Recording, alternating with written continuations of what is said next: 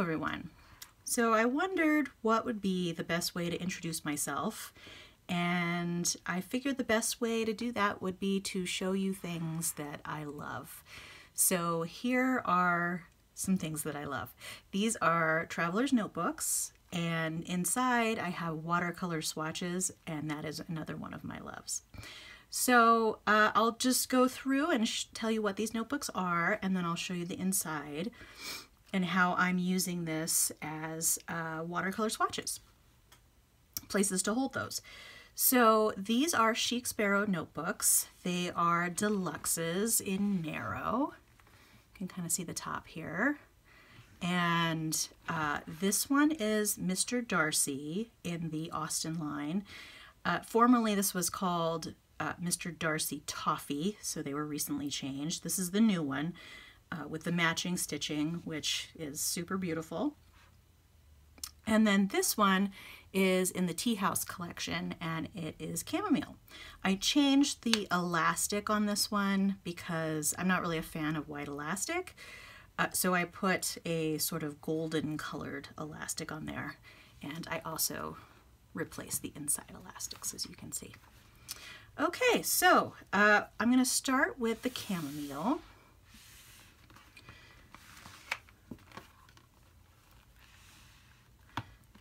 So as you can see, there are three inserts in here. And these are all Traveler's Notebooks brand uh, inserts. They are the, they have card holders inside. So there's three on each side, and in theory you could put business cards or whatever in here, but I am using them for watercolor swatches, and this is just sort of a random page that I opened it to here. It's really the perfect size to keep all of these swatches together. And I'll go into a little bit of how I make them, and then I'll do a, a quick run through of what's in here, and then what's in the Mr. Darcy notebook. So here we have a little plastic block. This is from Tim Holtz. It's just small enough to hold, so I'll show you, this little guy. So this, you take off the plastic pieces, affix it to this plastic uh, holder here, and then it becomes a stamp. So you can use it to stamp, and I've used it to stamp these little rectangles of watercolor paper to put these little swatch things on. So this stamp is from uh, Waffle Flower, and I got that off of Amazon. Uh, and this stamp really does need to be cleaned, but uh, when it is clean, it makes a great impression. I used permanent uh, stamp pad, a permanent stamp pad, and that's really important because otherwise it's going to smear all over the place when you put watercolor over it. So I'll just put those back in here. And then in here, I have sort of my sample swatch and then a couple of extras. So uh, this one I ended up keeping because I didn't realize that I had swatched this color twice.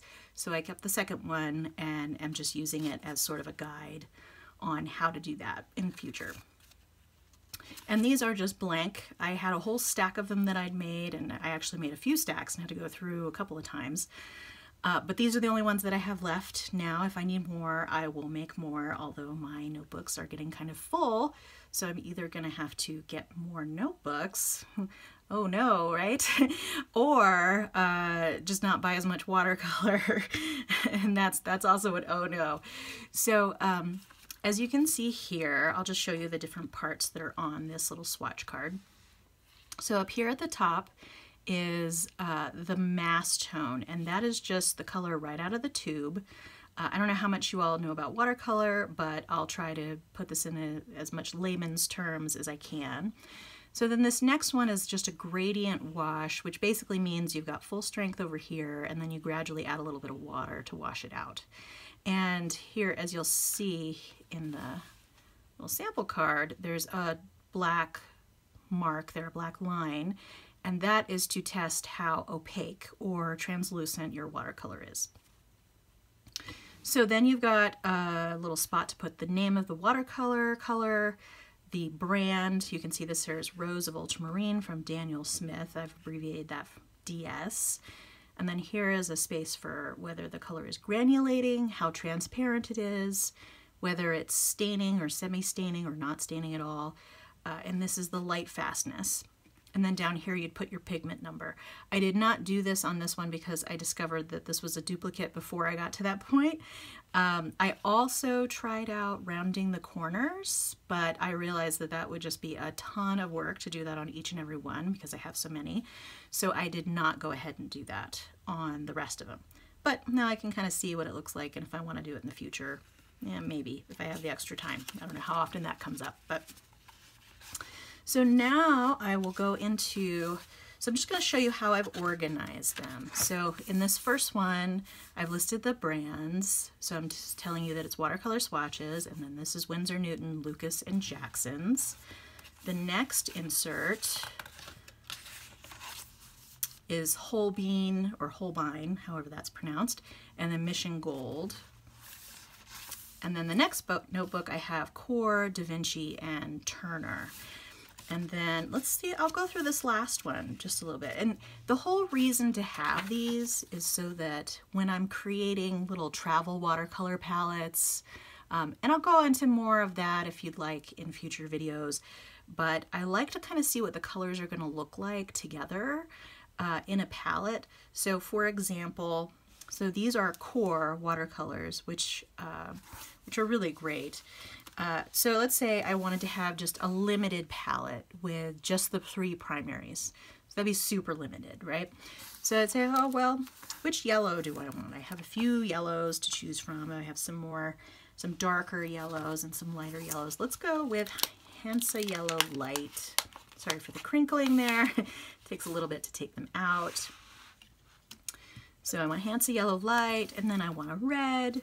So let's say even though this isn't really red, it's magenta, but it counts as a red. Let's say I'm going to use the quinacridone magenta, and then I'm going to go through and find a blue, and let's just go with ultramarine, right? And so then I can see what they look like next to each other. Or I can compare different brands in different colors um, I'm not going to do that because that's going to take a little bit of time, but if, I, if anyone wants it, I can probably do a flip through of how I have this organized completely. This is really just to show you how you can use this particular notebook and these inserts, and this has really worked well for me. So I'm just going to put these back in here. Where's my yellow? And then magenta and they, they come in and out pretty easily. Um, like I said, these are getting a little full. Uh, and then in, I'm gonna loop that up. Oh, and here I have a little Da Vinci travel brush and uh, here I'll take it out so you can see. So this is just a Da Vinci travel brush in size 5. Uh, this actually came with one of my travel watercolor palettes that I bought. Um, and I, I switched it out and didn't, you know, didn't use it for that anymore. So, so now um, I figure, oh, what am I going to use it for? I'm going to use it for, for this purpose because I need a brush to do the swatches with. And this one turns out to be perfect for that. So I've also labeled these with a labeled maker. I've, I have a bunch of travel uh, watercolor brushes, which I can also share in a different video, but uh, I went through and labeled them all like this, and it's, it's worked pretty well. Because before, this is actually labeled here too, but some of them, they don't have a label anywhere on the, the outside. So I was like, oh my God, what brush is this? And I have to open them all and figure it out. So that way it's all kind of in the same convention. And then this little guy, this uh, little uh, clip, pen clip, is from Kaweco. I got this off of Jet Pens, and I don't remember what this is supposed to be for. Um, I think I had a duplicate of this, which is why I tried to see if it would fit. Um, I'll put a link down below to uh, which one this is exactly, but it per fit perfectly on here. So I was very excited about that. So then I just clip that back on there. And then there you go. And then this one, I'll swap those out. this one is similar. And here, instead of putting the stamp like I had in the other, I just have stickers from or business cards from places where I buy watercolor things from. Uh, for example, like Art Toolkit, which I'll tell you more about in a future video. Um, rosemary brushes, I love those. Uh, Kings Creek, they make beautiful handmade watercolor palettes, which I'm actually going to do a video on that as well. So it's not much different. What did I put in the back here? Oh, my receipt for my watercolor palette. okay, so there's that. And then, um, so here it's the same kind of deal. This has Schmincke, Daniel Smith. That's all the colors that are in here. And I actually have so many Daniel Smith that it is taking up this whole middle notebook. As you can see, this is just Daniel Smith. And then part of this other one. So I think you can tell which is my favorite brand. And then this one has just a sort of a hodgepodge of a variety of different brands. Sometimes I'll only have one tube of something and then I'll, I'll swatch it in here.